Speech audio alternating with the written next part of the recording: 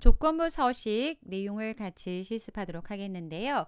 예제 파일 불러와 주시고 조건부 1번 시트 내용 보도록 하겠습니다.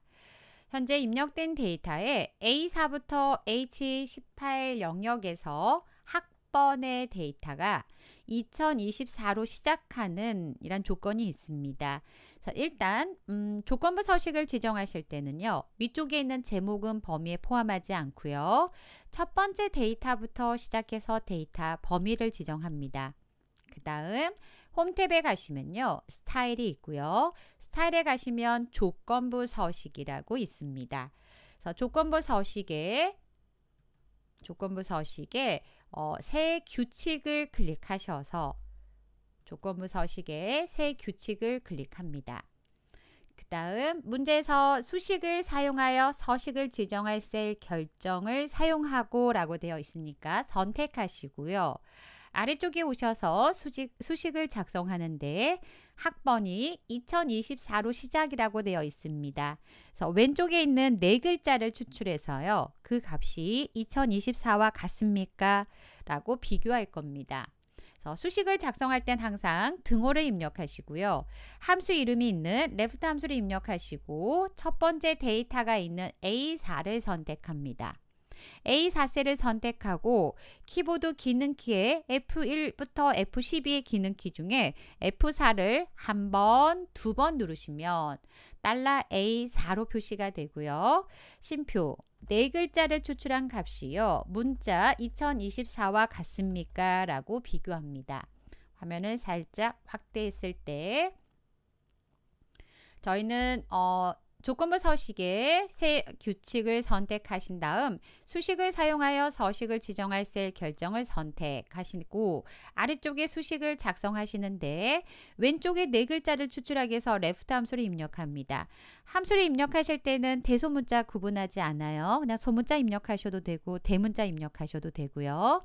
A열에 있지만 4, 5, 6, 7 행의 위치는 달라질 거라서 A 앞에는 달러 기호를 표시하셔서 고정 시켜 주시고요.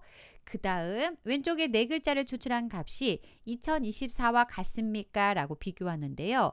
레프트 함수를 통해서 어, 문자를 추출해 오셨기 때문에 문자 20, 2024와 같습니까? 라고 문자 처리를 큰 따옴표를 이용해서 처리해 주시고 그리고 나서 이 조건에 만족하면 저희는 서식을 클릭하여 서식 클릭하셔서 어, 색깔에서 표준색의 파랑을 선택. 표준색의 파랑을 선택하시고 음, 네, 색깔 글꼴 색깔에 대한 언급만 있으니까 표준색의 파랑을 선택하시고 확인 다시 한번 확인 버튼 눌러주시면 학번 데이터들 중에서 왼쪽에 네 글자를 추출한 값이 2024에 해당한 데이터 행 전체가 글꼴 색깔이 파랑색으로 적용된 걸 확인할 수가 있습니다.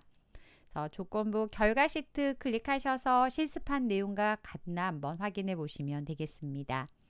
다음은 조건부 2번 시트 클릭하시고요.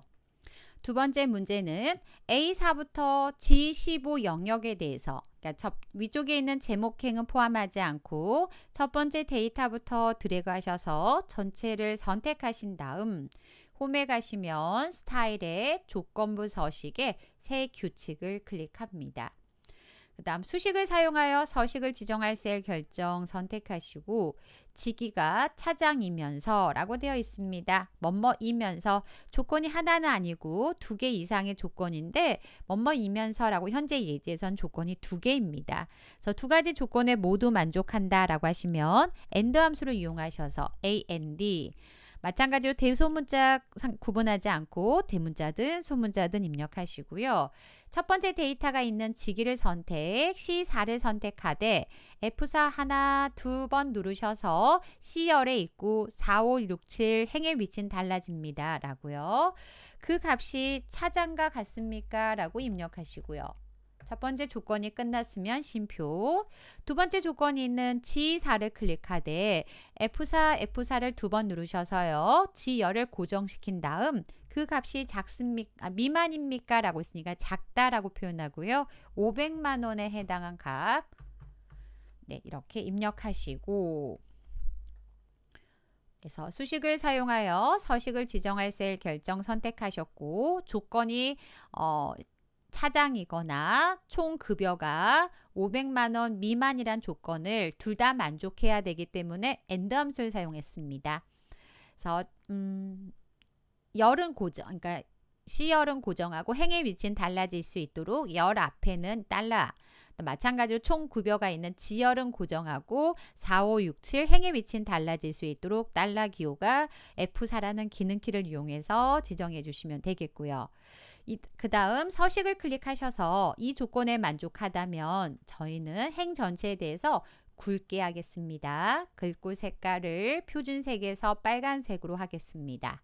라고 선택하시고 확인 다시 한번 확인 버튼 눌러서 어, 사, 빨간색 글꼴로 표시된 내용을 보시면 지기에 가셔서 확인해 보시고 총 급여에 가셔서 500만 원 미만이라고 되어 있으니까 어, 500만 원보다 작은 데이터를 찾아서 서식이 적용된 걸 확인할 수가 있습니다. 결과 시트 클릭하셔서 음, 여러분이 실습한 내용 확인해 주시면 될 것 같고요. 다음은 조건부 3번 시트 클릭하셔서 세 번째 문제 보도록 하겠습니다. 세 번째 문제에서는 A4부터 F14 영역을 선택하시고 그 다음 홈에 가셔서 스타일에 조건부 서식의 새 규칙을 클릭합니다. 수식을 사용하여 서식을 지정할 셀 결정 선택하시고 체험 코드가 P 또는 S로 시작한다라고 했습니다. 또는이니까 두 가지 조건이 있는데 둘 중에 하나라도 만족하면 된다라고 OR 함수 입력하시고요. 그 다음 왼쪽에 한 글자를 추출하기 위해서 LEFT 함수 입력하시고요. 다음에 체험 코드가 있는 C4를 선택하되 C열에 있지만 4, 5, 6, 7 행의 위치는 달라질 겁니다. 라고 F4를 한 번, 두 번 눌러서 C열만 고정하시고 쉼표 한 글자를 추출한 값이요. 문제에 나와 있는 P와 같습니까? 다시 한번 쉼표 첫 번째 조건이 끝났으니까 쉼표를 누른 거예요. 그 다음 LEFT 함수를 통해서 다시 한번 C4에 있는 데이터 F4, F4 눌러서 두 번. 그 다음 한 글자를 추출한 값이 S와 같습니까? 라고 비교하시고 큰 따옴표 처리해 주시고 OR에 대한 가로를 닫습니다. 화면을 살짝 확대해서 보시면 수식을 사용하여 서식을 지정할 셀 결정 조건이 두 개가 있는데 둘 중에 하나라도 만족하면 돼요 라고 해서 OR 함수 사용을 했고요. 왼쪽에 한 글자를 추출하기 위해서 둘 다 레프트 함수를 사용했습니다. C열에서 한 글자를 추출한 값이 P하고 같습니까? S와 같습니까? 라고 비교할 거고요. 이 조건에 만족하면 서식을 눌러서 저희는 배경 색깔, 체육이 색깔에 가셔서 표준색의 녹색이라고 했습니다. 두 개 색깔 중에 녹색이 정확하게 어떤 건지 확인하고자 한다면 무늬색을 클릭하셔서 표준색에 가시면 연한 녹색, 그 다음에 녹색 확인만 하십니다. 그리고 오셔서 배경 색깔에 오셔서 녹색을 선택합니다.